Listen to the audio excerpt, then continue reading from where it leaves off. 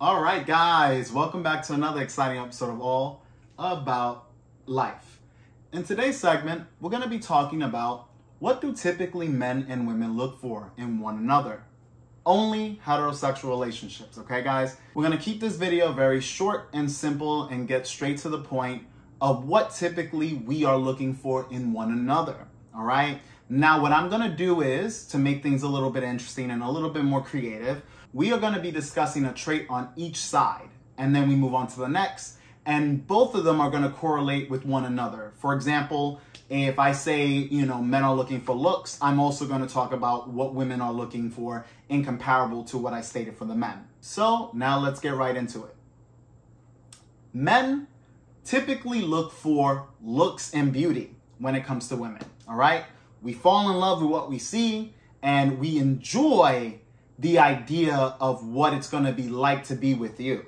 Okay, so for example, when I look at a woman, my senses are very in tune with my observation. So when I'm thinking of that girl, all the sexual thoughts come into mind. You know, I'm not worried about her dress. If her dress looks really nice on her, I'm thinking of what she's going to look like outside of those clothes.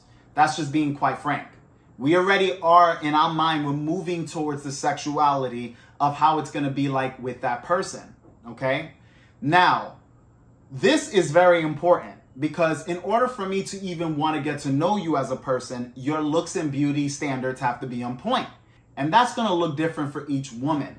So let's not expect that every person's going to look the same or follow the same guidelines. Beauty and looks can be subjective.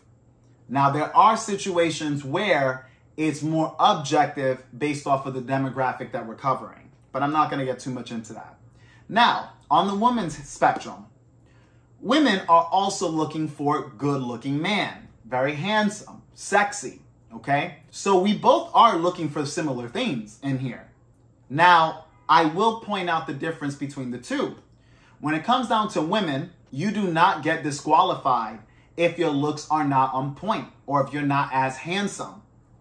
However, if we're looking for genuine desire, genuine lust, your looks need to be on point for that woman to really like you, all right? Where she wants to escalate things, where she's gonna allow you to lead, where she's not gonna give you pushback, where things are gonna just be very easygoing and smooth. So for you guys, understand that looks aren't a must but it's needed if you want genuine desire. Point blank. I'm not sugarcoating it. If anyone tells you anything different, they're bullshitting. Now, when it comes to personality, men are looking for good personality from women. That means being fun, being agreeable, not being a problem, having sense of self, utilizing accountability. A lot of those factors that I just brought up are some of the main traits that we look for in women. Now, many women these days are lacking some of those attributes. So it becomes a little harder to figure out as a man what kind of woman you're going to want to go for when you notice that these personality traits are scarce. Now, on the other hand, women are looking for personalities based off the type of girl she is. Now, the reason why I worded it differently for the men and the women is typically most men are very similar. I'm talking about the majority. Now, when it comes to women, you'll notice that based off of her upbringing, based off of her culture, based off of what she's used to, the environment that she's been introduced, that's going to determine what kind of personality trait she's going to go for in men. Some women like hood niggas. What does that mean? It means guys that are very abrasive, guys that are very dangerous. And I don't mean dangerous necessarily that they're going to hurt people, but dangerous where they don't really think about what's going to go down. So they'll put themselves in bad, shitty situations and a lot of times without understanding the consequences. They're going to pick men that follow certain personality traits. You could be an arrogant guy. You could be a preppy guy. You could be a guy that's very giving, very understanding. Some personality traits will ignite a lot of feelings from that woman. So based on the person she is, will determine what personality trait she goes for. We look for femininity. Okay? So, what does that mean for the ladies? Simply put, girls who are worried about their appearance, girls that are not engaging in masculine activities, women who are agreeable by nature. okay? Where they realize, all right, if my guy is into something, they're going to conform, all right? They're like water, where they take the shape and form of whoever they're with. So if a guy is into video games and the girl isn't, she will start putting herself in that environment. If the guy is into sports and she isn't, the girl will become more agreeable and dive into those topics. Somebody that you can spend time with and it does not feel forced. All these traits that I'm listing is things that make men comfortable around the woman that he's with or that he actually likes. Okay, so when you're a feminine woman, you're gonna bring a lot of that nurturing energy. And that is what's gonna keep us wanting to be around you. Because most guys want a girl that he can really lay back and feel at ease and not have to worry about anything. When you're done going to work, out and about, doing what you need to do to survive or to make a good living, you wanna come home to a place of sanctuary.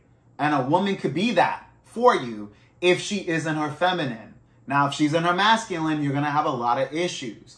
Now, on the flip end side, what are women typically looking for? Masculine men, not feminine. Okay? So that means assertive, dominant, men that get shit done immediately. They're ready to go. All right? They do not falter. It does not take them so much time to make action, to take initiative. So these type of men is what women are going to be drawn to. All right. And it doesn't matter what type of girl you're dealing with.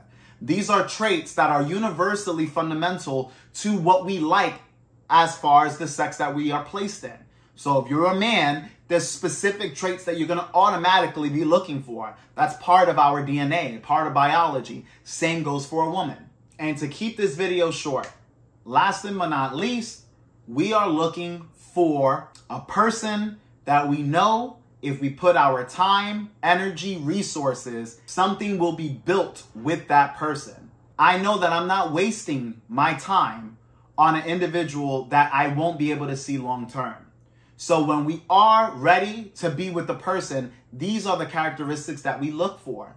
Short term and long term, which means you ladies, you need to take note. Men want women who not only we feel comfortable with, but we know that they will have our backs. And we're not talking about the same way that we provide.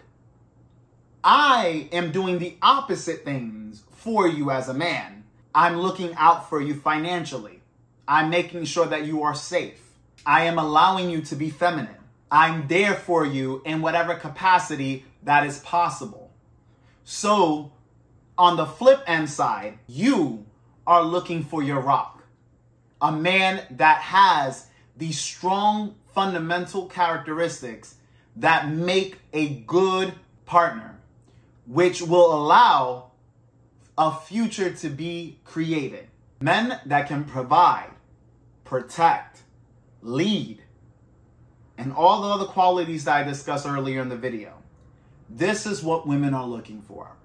Are you that person for one another? If you're not most of those relationships will fail, which is why I tell men look for women who embody the characteristics that you know you need as a man, and vice versa. Okay? This idea that men and women could be anything they want to be and interchangeable is bullshit and is setting you up for failure because that is not what we're naturally attracted to. Which is why when you get into relationships with people who are very wishy-washy, all right? Men that are very feminine or, or women that are very masculine, you'll see those relationships crumble. They do not work because we need one another to complement each other. We can't be doing the same shit and we can't be the same person in the relationship.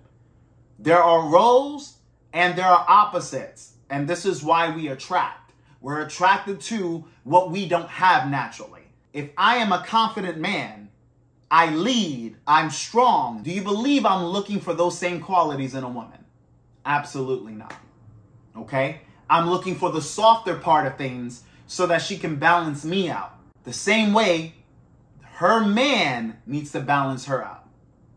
So if she is soft, feminine, brings all that nurturing energy, you need to be able to be dominant, lead, provide, protect You get what I'm saying? It's the yin and yang. It's the balance that will pull you guys together. Okay? And that's what creates a very good relationship. So guys, I hope you enjoyed this video. If you want me to do more like these, leave it in the comment section below. Make sure that you do like this video and give it a thumbs up. Subscribe if you haven't already. It's not easy finding the right partner for you as a man or woman, but you need to be right for other people as well. Okay? We can't live in this world, accept me as I am, if you know that you are not where you should be. If you know that there's a lot of fundamentals you need to work on. If you're a woman and you're mainly masculine and you know that a lot of people are shying away from you because of your behavior, you got to change that shit. Men are not going to accept you the way you are. And if you're a man and you're a bitch and you don't know how to lead and take assertive action and make sure that you are there for that woman in the ways that I described earlier in this video, then you need to improve on yourself. Men, you are the rock. Women, you are the water. I hate to be very cheesy and use these catchphrases, but it's true. Women adapt to you as a man. It's not the other way around. It's not that you adapt to the woman, the woman adapts to you. But you need to have those strong qualities for her to want to adapt to your lifestyle, to who you are as a person. Anyways, guys, thank you for watching. And as always, this channel is all about you. Catch you guys on the next video.